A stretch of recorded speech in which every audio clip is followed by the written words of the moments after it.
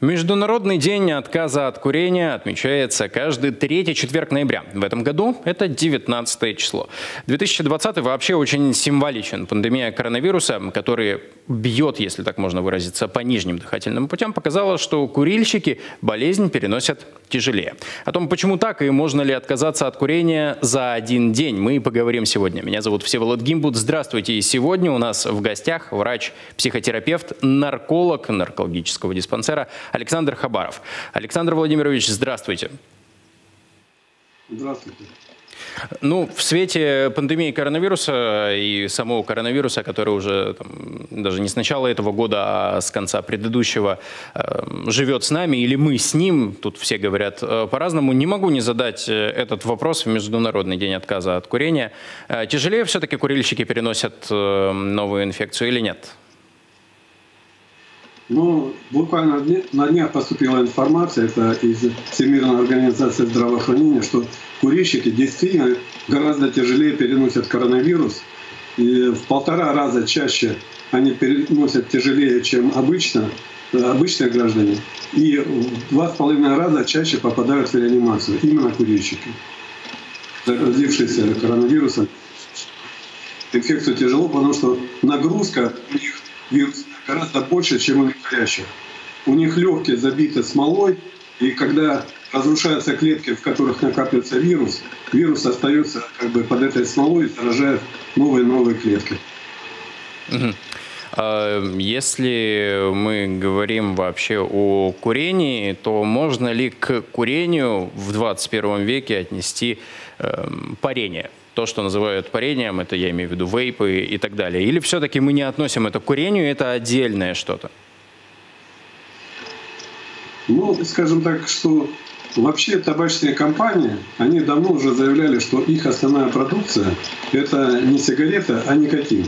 Они действительно продают никотин в различных упаковках. И вейпы – это просто один из способов доставки никотина в организм. Именно никотин вызывает сильную зависимость. Эта зависимость очень сильная по психологической составляющей, она приравнена к героиновой зависимости. И вот когда стали во всех странах бороться с курением сигарет, появились тогда электронные сигареты, потом появились вейпы, сейчас идут айкос и другие средства доставки никотина.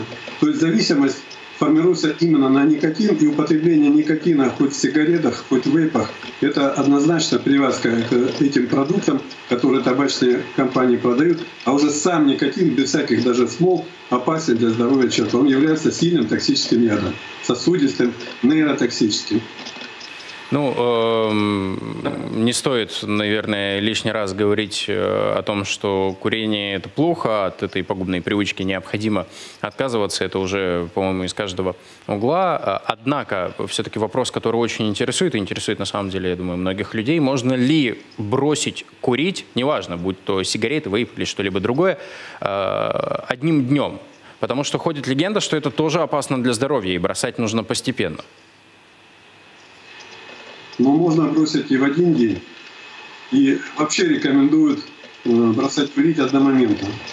Только одна группа людей, которая, которым рекомендуется бросать не сразу, а постепенно, это больные с сердечно-сосудистыми тяжелыми заболеваниями, у которых бывают часто гипертонические кризы, э, стенокардические приступы. Вот им рекомендуется сначала снизить дозировку выкуриваемых сигарет, а потом на седативной терапии отказаться от курения.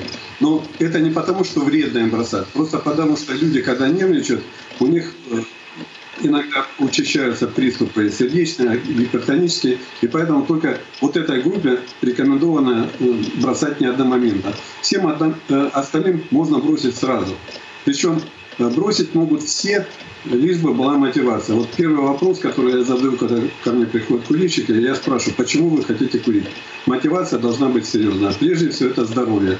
Ну что, о здоровье человек волнуется всегда, беспокоится. И когда человек бросает курить, здоровье начинает восстанавливаться, эта мотивация укрепляется у пациента, когда он бросает курить. Александр Владимирович, вы как человек с э, многолетним опытом э, работы, я думаю, сможете ответить на вопрос, почему вообще, э, как бы он сейчас странно не прозвучал, люди курят. Потому что когда я наводил справки до этой программы, я выяснил, что, например, испанцы препятствовали проникновению табачной продукции на континент еще в далекие времена, даже посадив в тюрьму одного из членов команды «Колумба», за курение.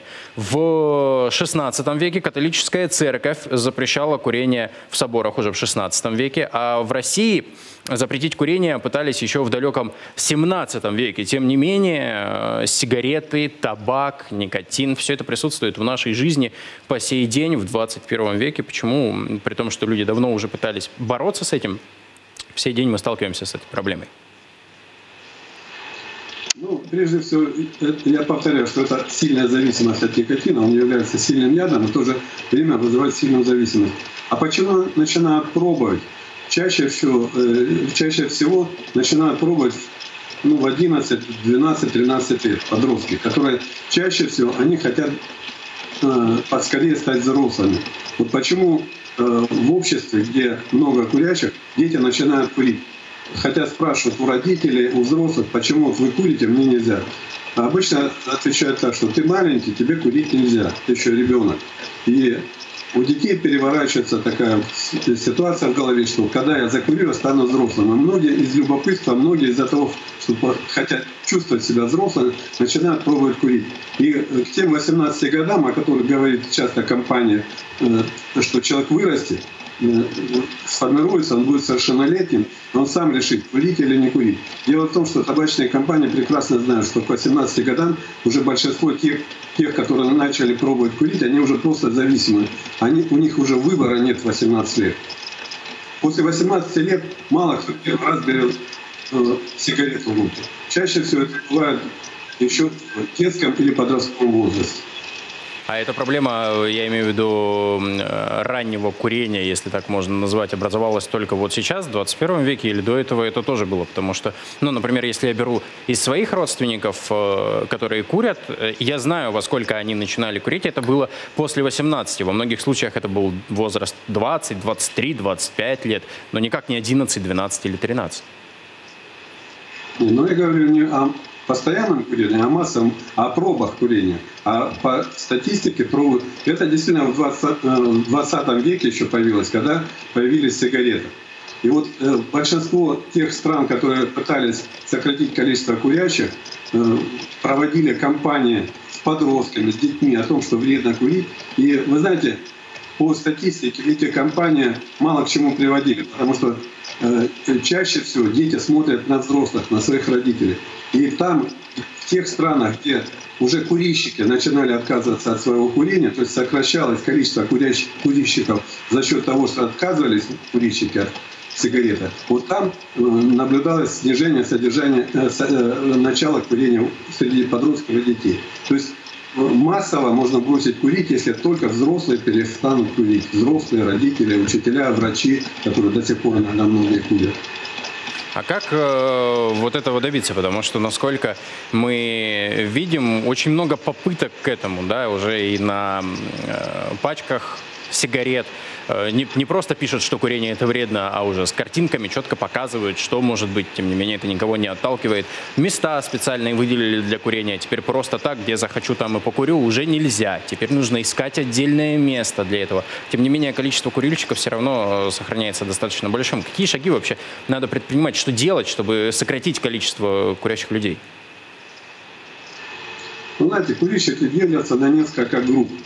25% курильщиков, они понимая, что курение опасно и вредно для их здоровья, они активно ищут способы бросить курить, пытаются, у кого-то получается, у кого-то не совсем.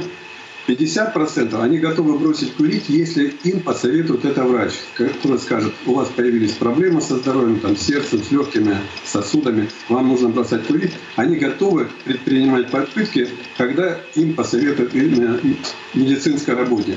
И 25% курильщиков они не хотят бросать никаких, ни при каких обстоятельствах. Так вот, чтобы увеличить эту э, как бы долю тех, кто хочет бросить и пытается бросить курить, при любом обращении к врачам, терапевтам, кардиологам, любым врачам, врачи должны рекомендовать своим пациентам бросить курить. И когда это будет в массовом порядке, врачи будут не только наркологи с этим бороться, но и заниматься этим будут и психологи, и э, врачи других специальностей, тогда уже массово будут и бросать курить люди, которые ну, понимают, что это вредно и опасно для их здоровья. Сейчас я предлагаю буквально на секунду вернуться в тему, которую мы уже с вами поднимали. Я говорю о вейпах. Вот тот самый пул людей, который очень хочет и старается бросить курить, зачастую переходят на вейпы из мыслей, что это чуть менее вредно. Да, не будем говорить полезно, это неуместно в этом случае. Чуть менее вредно для здоровья. Правда ли или это все-таки миф и вред э, сохраняется тот же самый? Или я, например, слышал от некоторых специалистов э, то, что вейпинг еще не изучен до конца, и мы не можем сказать четко, насколько это вредно. Ну, я вам скажу, что вейпы, действительно, я не могу сказать, что курение, парение вейпов более вредно, чем сигареты, это однозначно, потому что если в, табаке, в табачном дыме содержится порядка 4 тысяч веществ, то в вейпах порядка 30, 40, 50 веществ. Но самое главное, что там содержится никотин, который вызывает зависимость. И курят в основном, хотя говорят, есть э, жидкости без никотина, тем не менее э, парят, парят выпаривают именно э, жидкости, которые содержатся никотин. И вот по статистике уже многие те люди, которые начинали курить вейпы, они через, через какое-то время переходят на сигареты, даже если они сигареты никогда не курили.